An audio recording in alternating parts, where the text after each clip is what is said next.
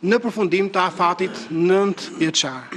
Pra, dhënia e mundësisë për të rizgjedhur, për të rikandiduar, por prap edhe prokurori që i mbaron mandati do kandidoj krah për krah me prokurorin e prokurorisë së juridiksionit të përgjithshëm që mund të aplikojë për atë vend. Dhënia e mundësisë për të kandiduar.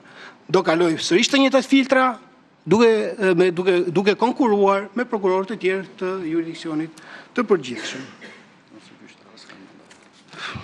Edhe tjetra është edhe gjyqtarët nuk kanë mandat, ne na keni kurse prokurorët e prokurorisë së posaçme kanë mandat.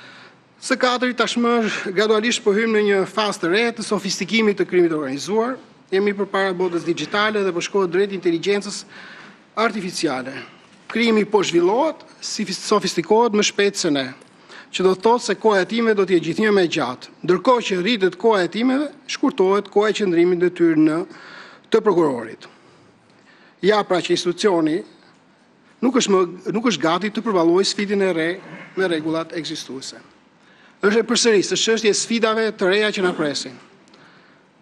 Konsiderojeni këtë çështje duke e përjashtuar emrin tim nëse kjo ju bën punë. Por mbrojeni institucionin.